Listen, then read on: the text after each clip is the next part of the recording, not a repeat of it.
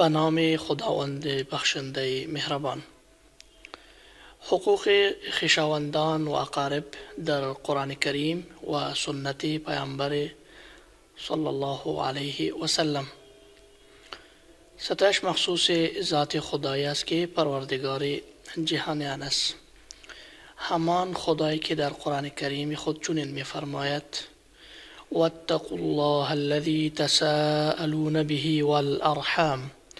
إن الله كان عليكم رقيبا و از الله که به نام او از یکدیگر درخواست می کنید پروا نمایید و از قطع کردن پیوند خیشاوندی بپرهیزید بگمان الله همواره مراقب و نگهبان شما است گواهی می دهم بر اینکه جز الله واحد و لا شریک هیچ معبود دیگری وجود ندارد. و گواهی می دهم بر اینکه سردار و پیامبر ما حضرت محمد مصطفی صلی الله علیه و سلم بنده و فرستاده خداوند است. خدایا بر او و بر همه یاران و اصحاب او رحمت نما. و بعد. کسی که در قرآن کریم و سنت پیامبر صلی الله علیه و سلم تدبر کند در میابد که حفظ پیوند خیشاوندی و رحمی از ضروری ترین واجبات و مؤکد ترین اطاعت خداوند است. چنانچه خداوند متعال می فرماید وعبدوا الله ولا تشركوا به شيئا وبالوالدين إحسانا وبذي القربى واليتامى والمساكين. و را عبادت کنید و چیزی را با أو شریک نگردانید و به پدر و مادر نیکی کنید و نیز به اقارب و یتیمان در جای نیکی کنید و همچنان خداوند متعال می فرماید وإذا حضر القسمة أولو القربى واليتامى والمساكين فارزقوهم منه وقولوا لهم قولا معروفا. و خشاوندان یعنی غیر وارث و در تقسیم میراث حاضر شدند. پیش از تقسیم چیزی از آن اموال را از باب استحباب برایشان بدهید و به شایستگی با آنان سخن بگویید. و باز هم در آیات دیگری می فرماید و اذا خزنا میثاق بنی اسرائیل لا تعبدون الا الله وبالوالدين احسانا وذي القربى واليتامى والمساكين وقولوا للناس حسنا. و باید آورید هنگامی که از بنی اسرائیل پیمان گرفتیم که جز الله یگانه را عبادت نکنید ва ба падар ва мадар ва наздикан ва ятиман некӣ кунед ва ба мардум сухани нек бугӯед. Ва ҳамчунан паямбари ма ҳазрати муҳаммад мустафо сали аллоҳу алайҳи васалам мефармояд касе ки ба худованд ҷалла ҷалалуҳу ва рӯзи қиёмат имон дорад пас силараҳмиро нигаҳ дорад. این عزت خیشاوندی را بس است که حق سبحانه و تعالی او را از اسمای خود نامیده است. و وعده داده که آن را با وصل کنندگان پیوند دهد و قطع کنندگان را قطع کند. پیامبر صلی الله علیه و سلم می فرماید زمانی که خداوند جل جلاله مخلوقات را فرید پس بر صله تاکید ورزید.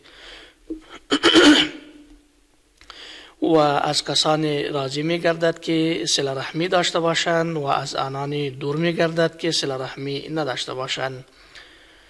سل رحمی در روز قیامت برای انسان اگر آن را وصل و قطع کند, قطع کند گواه است. چنانچه که پیامبر گرامی ما می فرماید.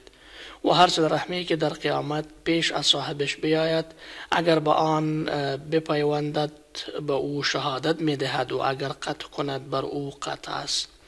و برای سل رحمی فضایل بزرگی در دنیا و آخرت است که نبی کریم صلی الله علیه و سلم می فرماید هر کس دوست دارد که در روز او گسترده شود یا در مسیرش فراموش شود پس رحمی کند و در حدیث دیگری می فرماید حفظ پیوندهای خیشاوندی یعنی سل رحمی خوش اخلاقی و حسن همجواری خانها را آباد و عمرها را طولانی می کند و باز در حدیث دیگری می فرماید ای مردم سلام برسانید و طعام دهید و سل رحمی داشته باشید و در حالی که مردم در خواب نماز شب بخوانید و با آرامش وارد بهش شوید ва баҳри дигар дар ҷавоби суоли марде ки пурсида буд кудам амал баъиси духул дар беҳишт мешавад мефармояд.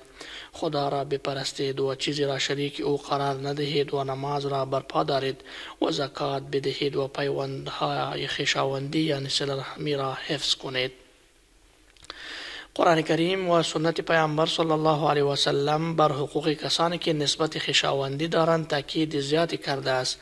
چنانچه که الله متعال می فرماید و آت ذا القربى حقه والمسکین. و حق خشاوندان را به أو بدهید و صله رحمی را به جا آورید.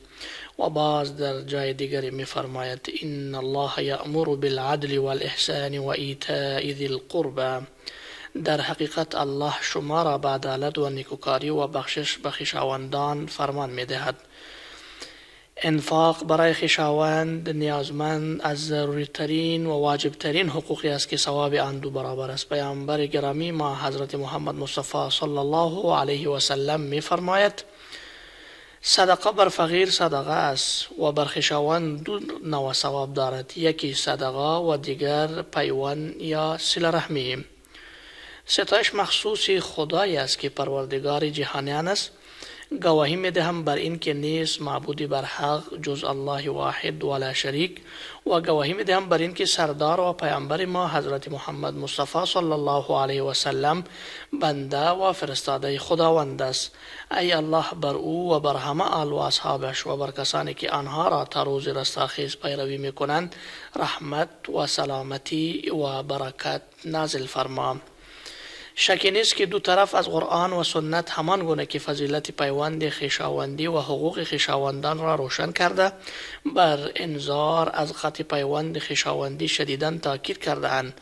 چنانچه که خداوند جل جلاله می فرماید فهل عسیتم ان تولیتم ان تفسدوا فی الارض و تقطعوا ارحامکم. أولئك الذين لعنهم الله فأصمهم وأعمى أبصارهم. پس ای منافقان آیا جز این انتظار دارید که اگر از قرآن و سنت پیامبرش روی بگردانید در زمین تباهی کنید و از خیشاوندانتان ببرید چنانچه که در جاهلیت این حالت را داشتید. اینان کسانی هستند که الله با دور ساختن از رحمت خیش لعنتشان هم کرده است. بس گوش دل آنان را کر و چشم دل آنان را کور ساخته است. در آیات دیگری می فرماید والذين ينقضون عهد الله من بعد ميثاقه ويقطعون ويقطعون ما أمر الله به أن يوصل ويفسدون في الأرض أولئك لهم اللعنة ولهم سوء الدار. و کسانی که پیمان الله را پس از استوار کردنش می شکند و آنچه را که الله به پیوستنش فرمان داده است می و در زمین فتنه و فساد می کند اینا کسانی هستند که در آخرت لعنت و فرجام بدی دارند. و پیامبر گرامی ما محمد مصطفی صلی الله علیه و سلم در توضیح مجازات قطع پیوندهای خشاوندی می فرماید هیچ گناهی سزاورتر از این نیست که خداوند در دنیا عذاب صاحبش را تعجیل کند. با آنچه در آخرت برای او از قطع اصل رحمی ذخیره می شود پس بر ما لازم است تا بدانیم که ما چقدر به پیوندهای خشاوندی و اصل رحمی ضرورت داریم که در این کمال ایمان و رضایت خداوند رحمان و استواری جوامع و پیشرفت و ترقی ملت ها است. خداوندا صفوف ما را متحد کن دلهای ما را پر از مهر کن و از مصر ما حفاظت کن و پرچم آن را در جهان بر افراشته کن.